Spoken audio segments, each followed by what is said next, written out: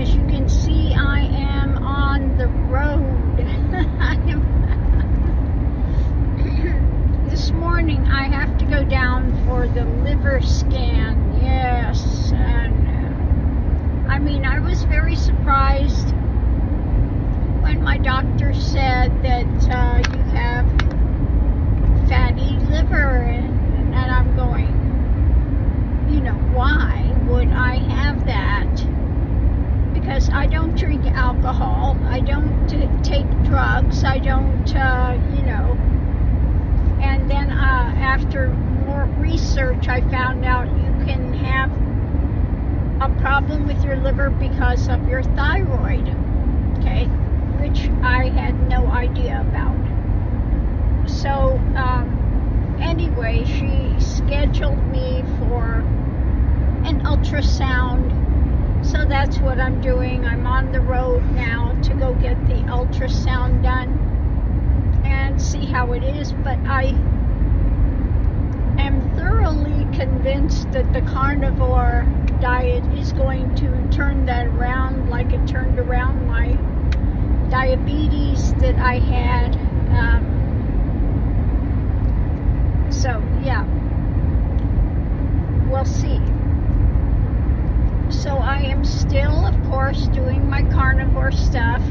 Um, I just got yesterday the um, what it, the inverter came, and I just ordered another one of those uh, cooktops because the one I have that I ordered it came and it's big. It's like you know 12 inches. It's big. So I found another one online that's more of a travel size. And so um, I ordered that one, and that is on its way. Um, so looking forward to, for that one to come. Now I do like the in the um, that cooktop, and I will take the bigger one in the house, and I will use it there. I did order another little thing. It's a little breakfast thing. It's about that big, you know. So it's small and it's got like a little pan there and it's for doing like one egg. And I tried it out and it has another thing where you can do sandwiches, you know, kind of a little sandwich press. and it's 600 watts I tried that out at home yesterday and it just cooked that egg like that. I mean, it was quick, but, and it's cute, but the problem with it is it stays hot for a long time and that's not something I want to bring in here with the puppies and stuff uh, where it stays so hot. Um, you know, so I keep trying and, and looking for the best options.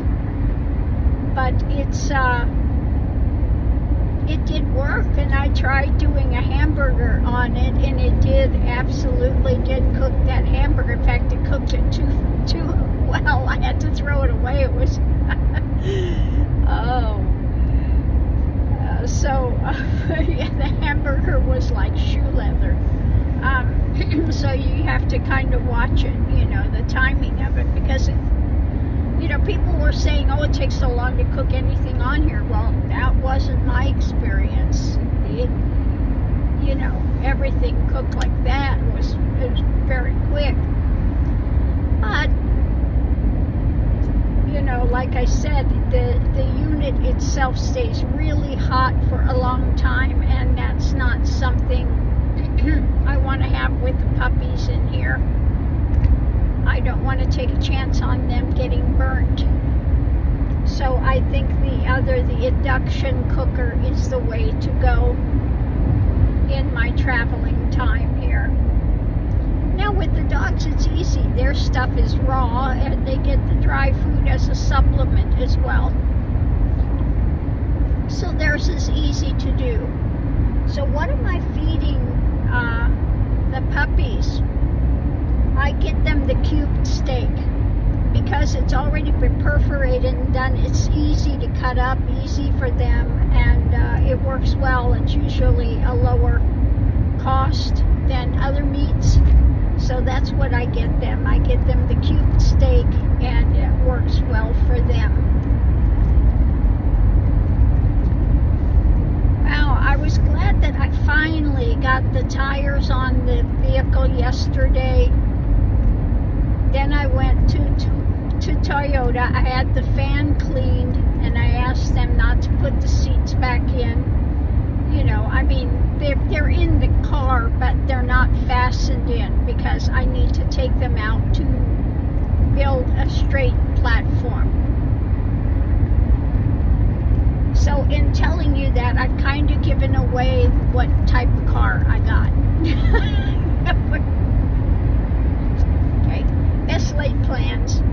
You know, I wasn't going to reveal it. Um, until I had everything done, but I think you can figure it out.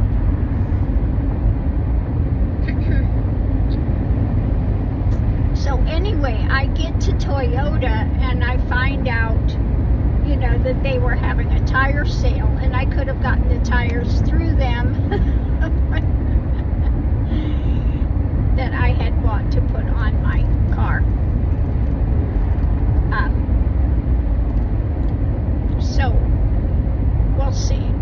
But anyway, the other day when I called the car, you know, the tire place, oh, they haven't come in yet. You know, we have other tires. And I go, yeah, well, what do you have? Oh, we have the Cooper. I said, no, I want something that's good for snow and rain. I said, if I were staying around Las Cruces, those are fabulous. That's all you need. But no, I'm going where there may be, you know, passes with a lot of snow and ice and, and I said no I need to have the really good tires okay so what was the tire that I finally got? The Continental uh, they're Continental tires. I think it's L something. But I did a lot of research and what sold me on it was this woman that uh, she was doing basically what uh, someone I know was doing, like hospice, and uh, working in really snowy, rainy areas, and these tires really saved her. Um, and she would be going when other people would be stuck. so, um, I did a lot of research, and these tires are bar none great for really bad inclement weather, whether it's rain or whether it's snow and ice. These tires cannot be beat for all weather conditions. Now you spend more for them. They're not cheap. They were 100 was 137 per tire but your life is worth it. If you are out there and you are um, hitting inclement problems, you want a tire that's going to be able to manage those conditions, okay? And I don't know why people don't uh, really look at tires and how important it is to get a really good tire if you are in those types of conditions. I think people think, well, a tire is a tire. Well, yeah, no, it, it can make a huge, huge difference.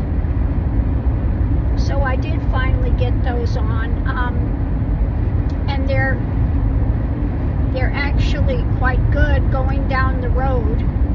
I think they're um, a bit smoother riding than the ones that I had on the vehicle that just got switched out. Um, now, a lot of people wouldn't have changed them because the other tires were basically, you know, really good tread. Everything on them was fine, you know, uh, but they are not rated highly for snow, rain, etc. So, um, yeah, no, I got really good tires on.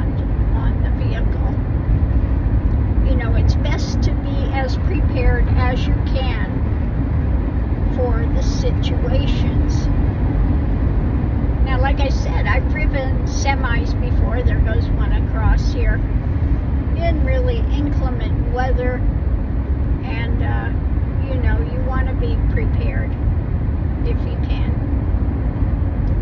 Ah, today, Organ Mountain, I mean, it is socked in in gray clouds, so I'm just wondering if they're going to perhaps get snow up there. Um, I might take this up to Cloudcroft. I'm going to see if they have snow up there because it's the ski area. You know, that's the thing about living here. You can go, you know, a couple hours away and there's a ski resort. Or you have the desert and you go up the hill, you got the pine trees, you got ski resort within a couple of hours. Um, what we don't have, of course, is ocean. No ocean here, but uh, there are lakes, there are mountains, um, so that part's good. Now, somebody asked how the dogs like the snow. They have not seen snow yet.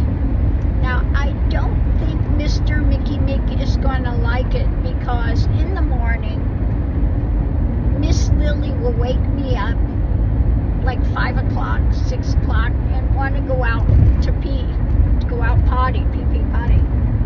And um, I'll open the back door. It may be still pitch black outside and freezing cold, and she'll go out, no problem. Mickey sticks his nose out the door and says, I'm not going out. it's cold. so he, he just, uh, he's like, no, uh-uh, I, I'm not doing this. Uh, so I think that uh, maybe Lily will enjoy the snow. Um, now I've gotten them both coats, But Mickey, I have a feeling he'll just be like, what what is this? Oh yeah, no, no, this is no. no, this is not no.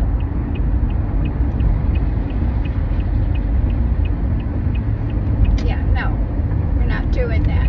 And the highway patrolman had to get over. But I could feel these tires, even going over like that, I could feel them really gripping the road. I could feel absolutely a difference with these. Um, yeah. So anyway, that's what's going on here this morning. I did buy a bunch of meat yesterday. When I get home, I bought the uh, cork baggies, so I'm going to take the meat out of there and uh, put it in the baggies, getting ready to go. Um, and tomorrow, Ronaldo is flying in and he will help me take these seats out of the back so that I can build the platform so I can get that ready. I cannot physically lift those seats. It's pretty heavy to take them out. Um, so he will be here tomorrow to help me with that. And uh, I've got all these boxes in the, you know, from the the composting toilet, from all this stuff that was coming. I've got just boxes in the garage that need to be torn down, and they're, you know, they're not like these lightweight boxes. So, so he'll come, have the box cutter, you know, get all those ready and to so that they can be disposed of. So lots of things. I just count my blessings that he comes out three, four times a year to help me with stuff. So I'm really fortunate with that because I don't have anyone here um, where I live that can help me with things. So, you know, such a blessing that he does that. He comes out here and helps me um, get things together, replace lights. I have another light in the kitchen that's, you know, going like disco light flashing that needs to be changed. So he'll do that. He'll change that light for me. Um, know, that's one thing. I, I my my house is quite nice, but and it's got those really high ceilings, which I like the high ceilings. But if you have to change a light or something, it's kind of a pain, you know. So um, I'm happy that he's coming out and he'll help with that as well. So we'll see.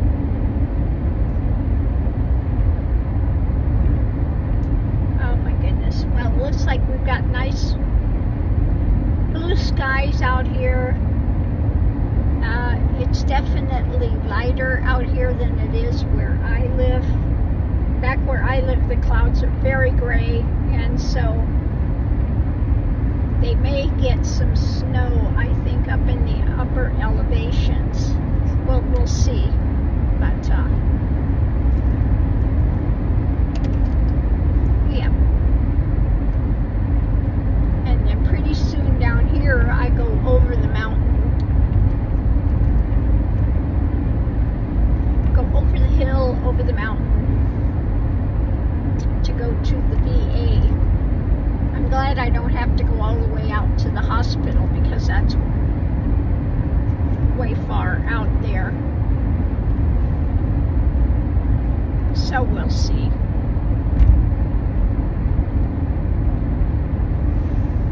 It's going to be interesting to see how well I do with gas mileage with this other tires on, how they're going to work. Um, but so far it looks to be um, about the same as the other ones. Right now I'm getting 43.4, um, which is okay, but I'm waiting to see if it increases because I just had the hybrid fan cleaned as well, and sometimes that can um, cause your mileage to go down. But uh, I had them also check my 12 volt battery in the back, and I did not know this but the only battery you can use is a Toyota battery. Okay, and it's a, the starter battery and things. It's it's a little different, I guess, with Toyota cars, but you cannot replace it with any other kind of battery. So I had them check that, and that was all well and good and, and quite fine. So I don't need to change that. But since this is a new car for me, um, and for a Toyota, it's got low miles. This is a 2012 and it's got uh, 60,000 miles on it. So that's really low for a Toyota. My other Toyota is a 2012 and I think I've got like 170 something thousand miles on it. So,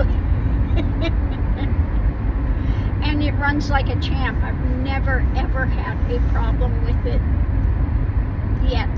Now, when I get back from my uh, tooling around what I'm doing, I need to take that one in and also have that uh, fan, the hybrid fan, cleaned.